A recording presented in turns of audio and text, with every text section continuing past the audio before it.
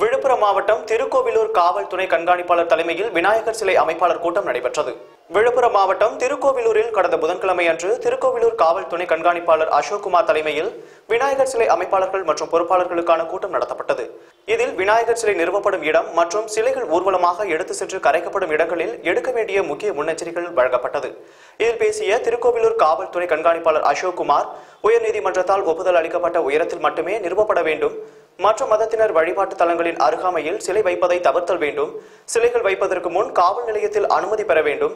சிலைகளுக்காக அமைக்கப்படும் கொட்டகைகள் பாதுகாப்பாக இருப்பதை உறுதி செய்தல் வேண்டும். மற்றும் சூழ்நிலைக்கேற்ப அவ்வப்போது வருவாய் பேரூராட்சி மற்றும் காவல்துறையினரால் போடப்படும் உத்தரவுகளுக்கு கட்டுப்படுதல் வேண்டும் என்பன போன்ற பல கோரிக்கைகள் பின்பற்ற வேண்டும் என கூறினார்.